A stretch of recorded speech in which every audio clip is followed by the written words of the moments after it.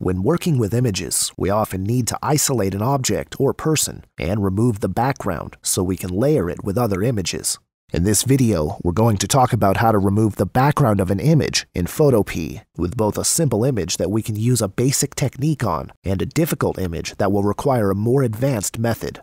You can find a link to all of the images I'm using in the description or just search for them on pexels.com.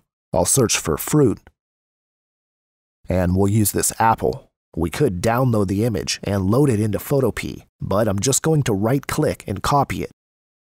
And then switch over to Photopea and paste it into this project I've got open. I'll use the Move tool to resize it and get it positioned on the canvas. I've got the finished product here, and this apple has a transparent background, which you can see if I switch off the background layer. With an image like this, we can easily remove the background with the Magic Wand tool. The Magic Wand tool lets you select pixels with the same or similar color. Select the Magic Wand tool by pressing W twice. We can click the canvas, and it makes a selection based on the color that we've clicked on.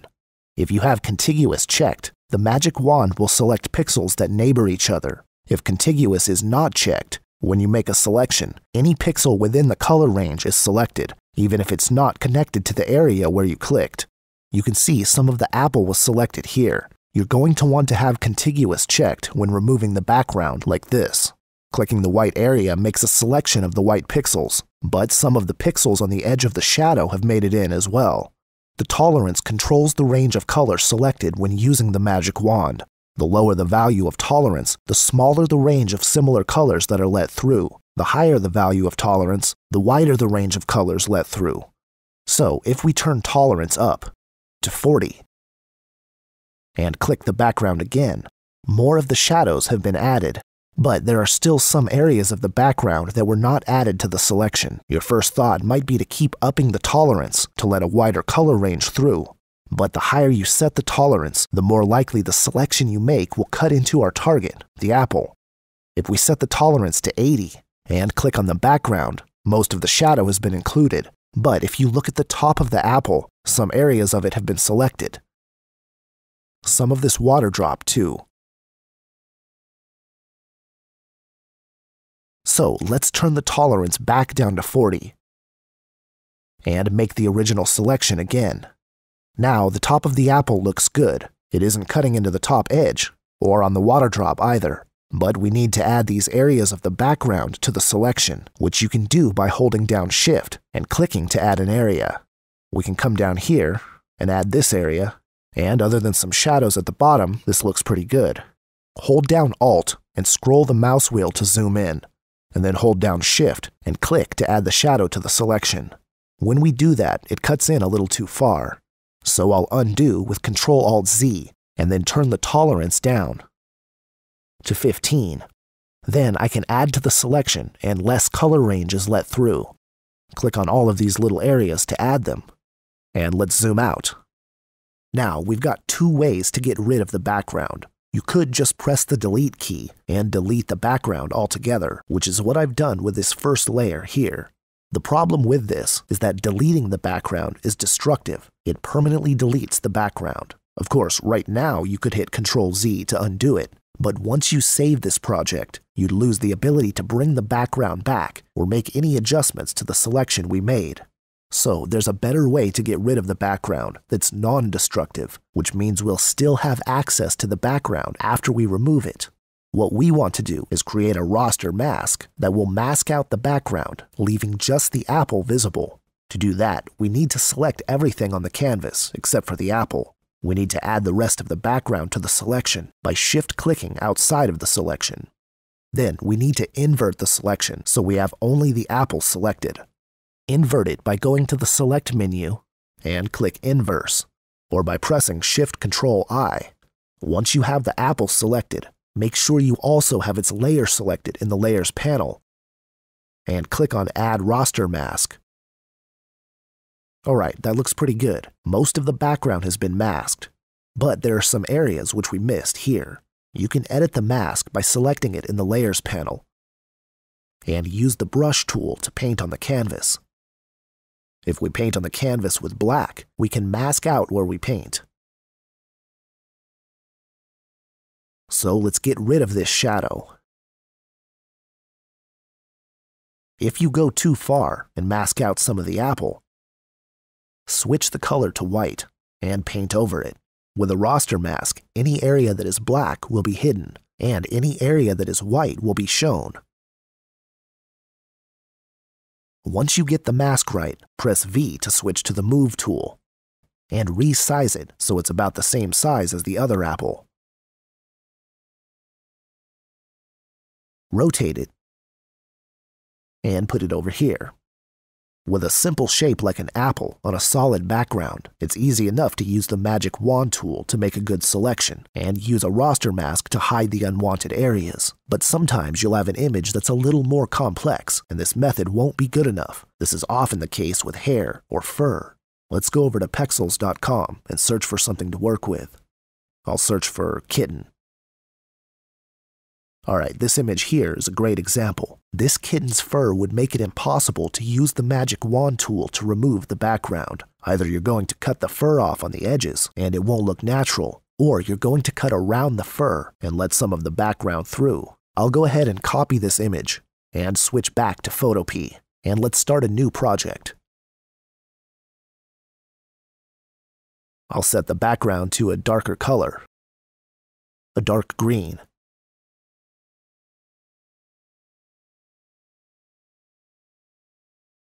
and paste the image to the canvas. I'll resize it so it fits on the canvas better and position it. Now, when you've got an image that doesn't have a clear edge to cut from, we can use the Refine Edge tool to make a more precise selection. First, we need to get a base selection of as much of the object as we can, so let's switch to the Quick Selection tool by pressing W. Then click and drag on the kitten to select as much as possible. Try not to get any of the background, but don't worry if you do. Just get it as close as possible.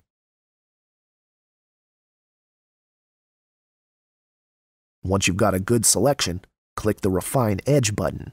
The Refine Edge tool lets you select complex shapes by creating a tri-map of three colors, black, gray, and white. You can choose between these three colors here and paint with them on the left canvas. The right canvas is the end result of the process. Painting over an area on the left canvas with black will hide it on the right canvas.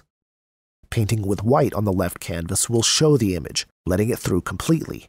When you make a selection, like we did of the kitten, before clicking on the Refine Edge button, the selected area is automatically painted white, so that area will already be shown here. Let's use black to paint over the background we let through. Where this is different from a raster mask, though, is when we paint the edges with gray. That's what makes the Refine Edge tool work. By using gray to paint over the areas that are hard to select, Photopea will deduce what should be part of the background and what should be part of the foreground, and automatically make the background transparent. It's hard to see what it looks like on the right side with no background, so let's switch this background to black. This background is temporary. The layer will still be transparent when we're done. On the right canvas, you can see how the kitten's fur is added to the selection. Just paint along the edges, covering any areas where there's fur. We can paint over these whiskers, and they are shown on the right side. You don't have to be too careful about making your selection, as the background will be removed automatically. But the more accurately you paint the gray pixels, the sharper and clearer the final result will be. If you paint too much background area with gray, it starts to look smudged and it isn't as sharp as it would be if we painted the trimap more precisely. I'll go ahead and finish this up and get everything looking nice. If you spend the time refining this, we could get it looking really good, but this will do for now. We've got three options we can choose from before we click OK to apply this to the image. We can choose New Layer, Raster Mask, or Selection. New Layer takes what we've got on the right with no background and creates a new layer with this image. Raster Mask creates a new raster mask using this shape and links it to the original layer, masking out the selection. And finally, Selection will create a new selection based on this result. We're going to choose New Layer and hit OK. Once we do that, our new layer is created with the kitten, except the background is removed. It doesn't look as good as it could because I haven't spent enough time refining the trimap, But you can see how easily you can remove the background even from more complex images. Just for fun, let's go to our first project and duplicate the apple layer into our new project.